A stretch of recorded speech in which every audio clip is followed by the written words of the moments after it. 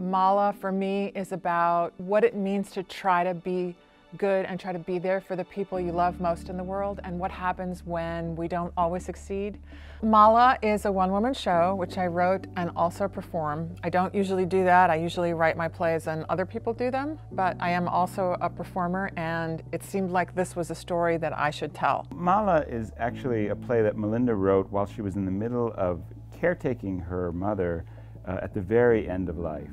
And so the play is about that sense of chaos. I was working on this piece during the epic winter of 2015, and I was also going through um, caring for my mom. I started writing these uh, notes to myself on my iPhone just memos of what happened or, or when it was too much for me to bear or I was losing my mind. I accidentally found these notes sometime later on my phone and they suggested to me uh, a theatrical story that I wanted to work on to try to make sense for myself. So there's a lot about death and dying and caretaking people who are dying in the theater as well as in film and television. So much of it is written after the fact. And so there's a kind of uh, reflective gloss over it. There's none in this. There's only happening.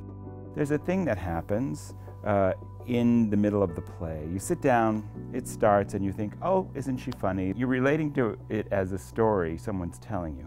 And then at some point, you start to bounce off of, oh, that's like my mom. Oh, that's like my sister. Oh, that's like me. We don't talk about dying in our society very well, uh, and it's such a common experience you are often really tested to be your best self and uh, you don't always succeed. If you are someone who has faced the challenge of caretaking a loved one, you'll experience someone telling your story. It can be cathartic, it can be funny, it can be embarrassing. If it's something that hasn't yet touched you, bless you. You come and you learn about grace, you learn about love, you learn about your own limits. Art can put a kind of sense to the chaos of life. And that's what I hope Mala does. If you've ever felt at your wits' end, if you've ever felt like you were failing a loved one, and uh, you need to laugh about it, then Mala is a good show to come see.